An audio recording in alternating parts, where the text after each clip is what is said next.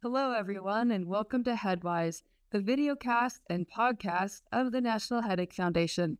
I'm Dr. Lindsay Weitzel, founder of Migraine Nation, and I have a history of chronic and daily migraine that began at the age of four.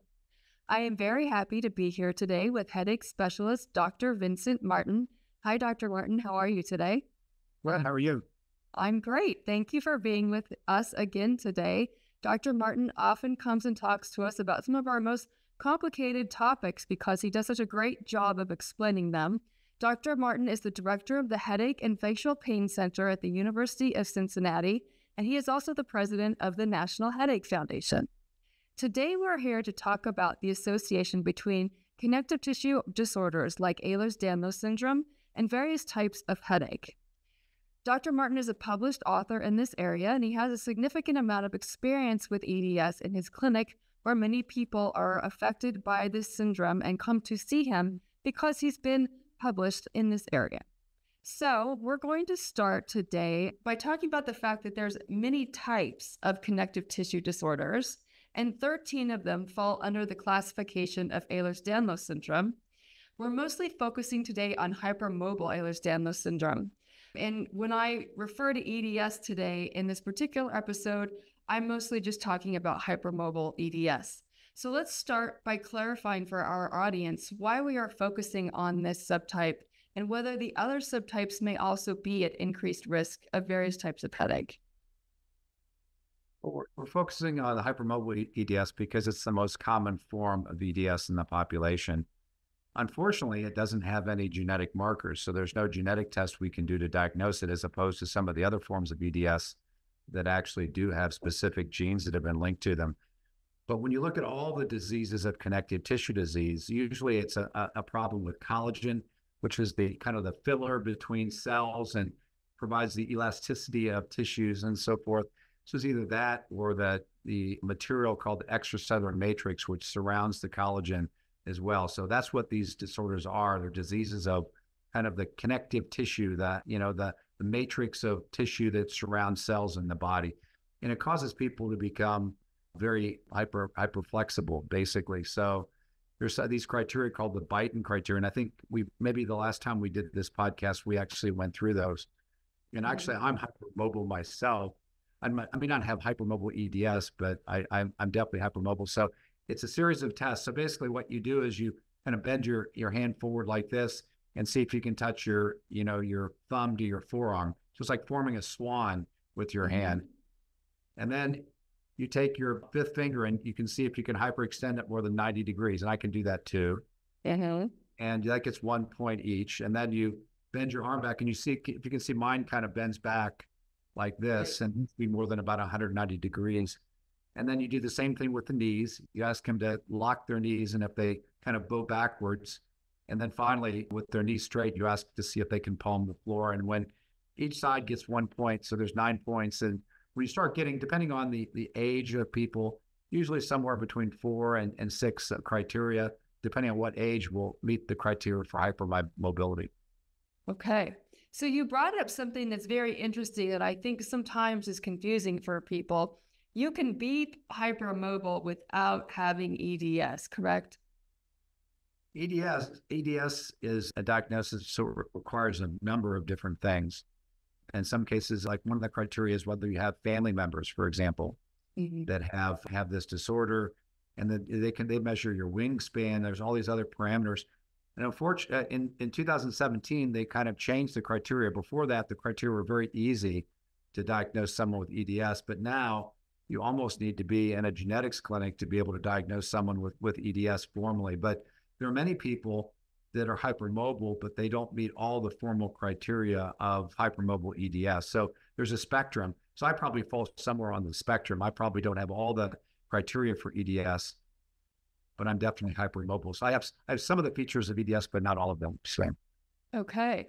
So I'm going to ask you to repeat yourself a little bit in this next question, but I think it's extremely important because I actually hear physicians mess this up all the time. That's how much misinformation is out there. So, is EDS a clinical diagnosis, or do you have to have genetic testing done in order to be diagnosed? It sounds like in some cases, you can't even have genetic testing done. Is that true?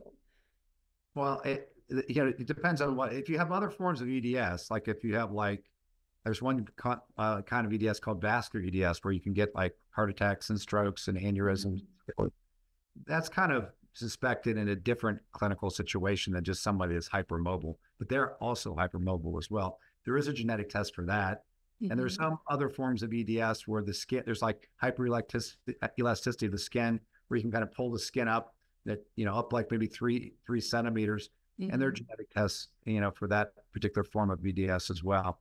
So there are genetic tests for some forms, some of the rarer forms of EDS, but for the most common form, not. So typically speaking, if you're just hypermobile and you don't have any vascular disease and you don't have, you know, skin elasticity, then genetic testing, frankly, is not very helpful. Okay. So does everyone with EDS experience severe and or chronic headaches? Uh, no, but probably many, many of them do. Okay. And there are a variety of different reasons for that. For one, um, we did a study back probably about my goodness, it must be almost 10 years ago, hard to believe, where we actually looked at EDS patients in an EDS clinic. Mm-hmm. We compared them versus, versus an age and sex match group in a primary care practice. And we found that migraine was more common in the EDS group. And that when it did exist, the headaches were more frequent and more disabling in the group that had EDS. So there probably are reasons for that that we don't quite understand, but it is possible that EDS could affect the peripheral nerves, like the trigeminal nerve itself, because there are certain kinds of neuropathy, neuropathy that are mm-hmm. associated with EDS. It's also possible that it causes something called dysautonomia, which is where your autonomic nervous system doesn't quite function right. The autonomic nervous system is your fight or flight nervous system. So, you know, like if you're in a dangerous situation and you need to get out of that situation, you activate your sympathetic nervous system and your heart rate goes up and you're you're much more vigilant uh, about the environment and maybe your strength improves. But there's and then there's another one called the parasympathetic. These kind of get out of balance in peace and people with EDS. So the dysautonomia could could lead to it, or it could be many of the other headache uh, uh, non-headache syndromes that might actually mod- moderate migraine like the fact that many EDS patients have neck pain because mm-hmm. of the ability of the neck and hypermobility of the spine in particular. Mm-hmm. And, and sometimes the TMJ joints are, are more lax, so they're actually able to, you know, to uh, um, basically open their mouths much wider than other people so they can develop arthritis in their TMJ joints. And there's a variety of other conditions that cause pain in these patients with you know, with EDS, and they may have fibromyalgia and other pain disorders as well. Okay. So that was going to be my next question. You led right into it. How about other types of pain? We covered migraine as one of the types of headache that may be worse for people with EDS. What about other types of body pain, whether it be fibromyalgia or anything else? What what do they experience in that area? Well, fibromyalgia would be one. That's basically mm-hmm. where you have pain in multiple areas of, of your body. But that, but you can get increased risk of herniated herniating discs in your neck, and that probably that's because the ligaments that connect the two vertebrae are more lax. So there's probably more play of one vertebra- vertebrae mm-hmm. on another. So it, ca- it can cause herniations in the neck and the cervical region, in the neck region, or in the lower back. So you can get you know, they, that can compress nerves. Okay. And also, if there's more play of the spine, they you can get arthritis in those joints that connect the two the two spines. It's called Facet disease. That's very very common in in patients with EDS. So so if your head hurts when you bend backwards and the pain is you know directly over your spine, that could indicate that you have a facet disease. Okay. Um, along with that, there's something called craniocervical instability, where sometimes the the cervical vertebrae up in the neck basically can move in certain ways where it kind of kinks you know, the the spine and, and brain stem, and uh, it, it, that can occur.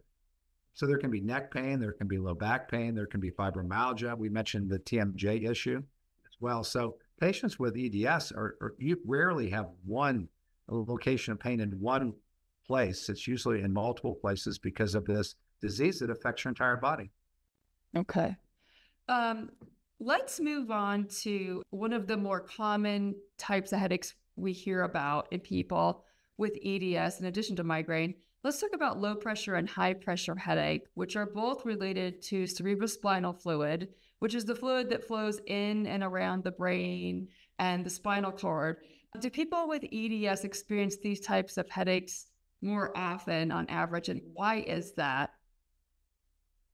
Well, there, there's two different types of headaches in that regard. So there's the low pressure headaches, and those are the ones where you get a headache when you go from a lying to a standing position. Mm-hmm. And also lying down actually helps the pain. And usually what happens is people may need to lie down for, you know, a bit of time before the the, the headache may either go away or significantly improve. Some people say it may even take lying down overnight for six to eight hours of sleep before that the headache may go away. Mm-hmm. So it's mm-hmm. headache on standing up. And then the opposite type of headache is called intracranial hypertension, which is where the spinal fluid pressures are high as opposed to low with the other disorder. And in that, that case, they'll develop headaches when they lean forward, when they cough, bear down, or sneeze, when they exercise.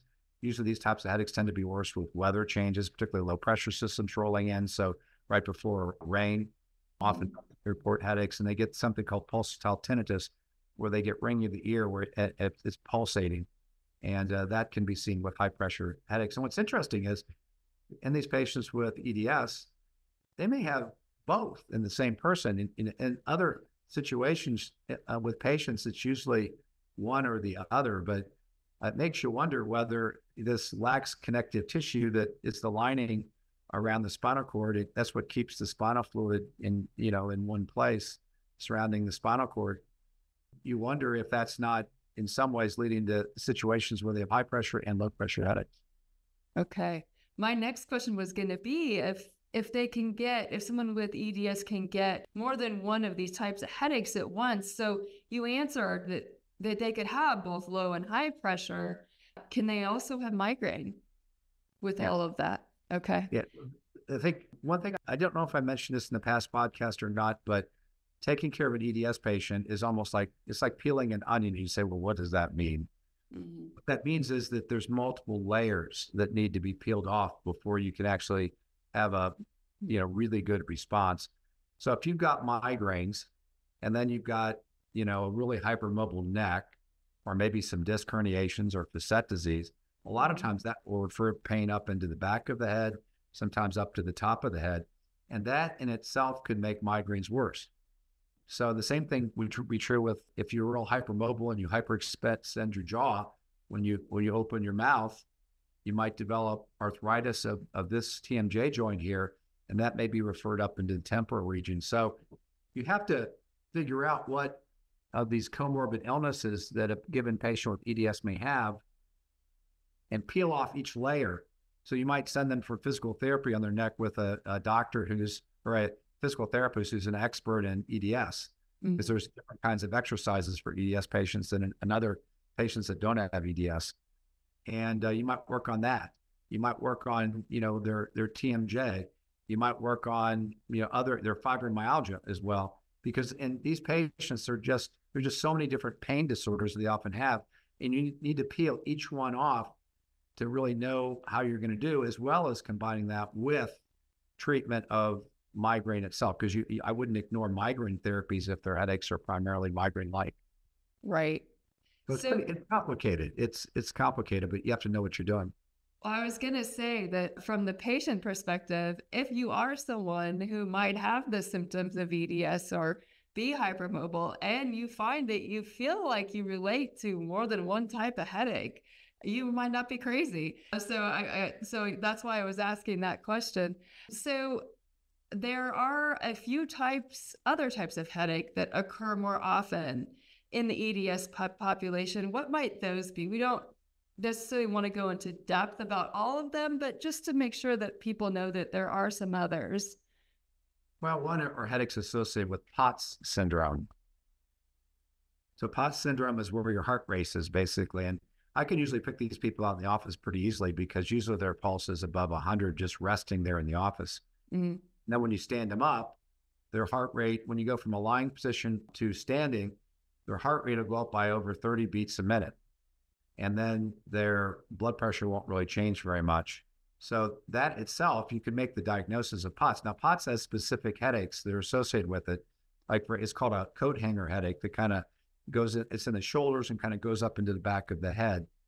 And sometimes when you treat these people with appropriate therapies, including, say, a beta blocker, which kind of slows the heart rate down, it's a blood pressure pill, sometimes that can make a big difference, not only in the POTS symptoms, but the headaches associated with the POTS. So POTS is one. There's also something called mast cell disease, which is your mast cells are your inflammatory cells in your body. Mm-hmm. And for whatever reason, patients with EDS often have these mast cells, which release a lot of inflammatory chemicals or what we call mediators into the body. Mm-hmm. And that can cause things like skin rashes and hives and asthma. And people can flush and they can have something called anaphylactic reactions where they develop swelling of their mouth with various foods or various medications and so forth. But the mast cell is another one that can be also associated with headaches and also confers with it a great sensitivity to medications. Mm-hmm. So if you've got EDS and you got mast cell, usually your intolerance slash allergy list is anywhere from five to 20 or 30 medications. I think the most I've ever seen was 80 medications. Mm-hmm. And you can imagine if someone has that much hypersensitivity to medications and that, that much sensitivity to medication side effects, it's going to be a real challenge. And I have certain medications I use in that situation versus others. Right. Okay. It's got to be rough to be that sensitive to medications and have that many things you need medications for. Just throwing that out there, that can't be easy. So, are there other, well, we kind of went over all the comorbidities and disorders that are likely going along with EDS. Are there any others besides MCAS and POTS that you wanted to cover? Uh, medication overuse. Because patients have so much pain, at least in the headache field, we believe that it's still a hypothesis that if you consume too many medications to treat pain, right. that that can actually increase the frequency of headaches. And these patients are usually treating multiple forms of pain Hence, they're often on multiple medications. So these headaches that we call medication overuse, in layman's terms, they're called rebound headaches, are probably also more common in patients with EDS as well. Okay. So, are there certain medications or treatments that you feel are more likely to be effective in people who have EDS? Well, in, in my experience, there are certain meds that I tend to use. One is I use meds with very low side effect profiles. And if I, even if they don't have low side effect profiles, I use microscopic doses to start, almost pediatric doses of medications. Okay. So the ones I tend to use, things like if I'm going to use an antidepressant, I'll use either nortriptyline, which has a very low side effect profile. I use a duloxetine as an antidepressant. In the in the blood pressure category, a lot of these patients run extremely low blood pressures. So if you are going to use blood pressure medications, you have to use microscopic doses, and sometimes I'll use extremely low doses of propranolol, which is a beta blocker, and sometimes that'll slow people's heart rates down if they have POTS. Because mm-hmm. um, if you think about it, if they're running a pulse of 120 and they're standing, that's like they're running a race when they're just standing, yeah. doing anything. I mean, that you can imagine how fatiguing that could be. Right. And then other medications, a lot of the new med- newer medications like the Gepants, there's one called Nurtec, uh, which is the trade name you know, or Rimegepant is the generic name for that. That's given every other day. And I found that to be very helpful in some patients with EDS. And then sometimes the monoclonal antibodies, which are shots, uh, can be used. And then I've used Botox in this population as well. Right. Okay. Um, so it can be very difficult to get an accurate di- diagnosis for just any type of chronic or severe headache, let alone also a connective tissue disorder if someone in our audience suspects they could have one or both of these, do you have any advice for them, even if even if they're just trying to find out if they have EDS, uh, let alone a headache issue? Where would you recommend they go? Well, first you have to have to see doctors that are ED, what I call EDS savvy. Mm-hmm. Have a little bit of experience in that, and usually it requires a multidisciplinary team. Like it's rare that you'll find one doctor that'll treat your POTS and your MCAS and your headaches.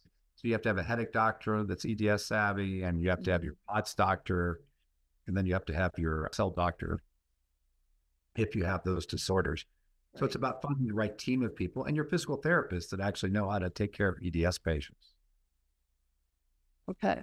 So I have noticed that is, this can be, depending on where you're going and where you are in the country, one of those topics that if you just start talking about it with your physician, you it might not be their favorite topic.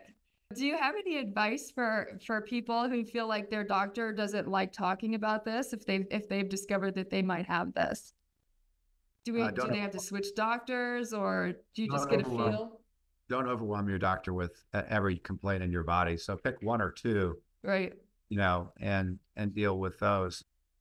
If if you go if you hit them with too many different things, then they just completely shut out. Sometimes if you mention the word EDS, they're like, "Gee, I don't know much about that. I don't really know how to help you."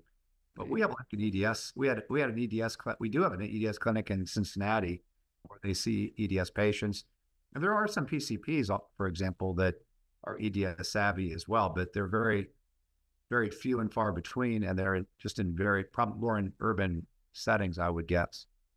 Okay. All right. Well, is there anything else that you feel we should tell our audience before we go on this topic? Um, if you have EDS, it sounds overwhelming, but there is help. There are many things that we can do to help you know treat your headaches as well as your other pain disorders you may need to go on a little bit of a search. And sometimes you can search the internet, and there are local EDS groups that have doctors that are EDS uh, friendly. And certainly the one in Cincinnati is a very active group. And, and seek out the doctors that understand your disease. All right. Well, thank you so much for talking to us about this today, Dr. Martin. And thank you, everyone, for joining us on this topic. Please join us again for our next episode of Headwise. Everyone have a great evening. Bye bye.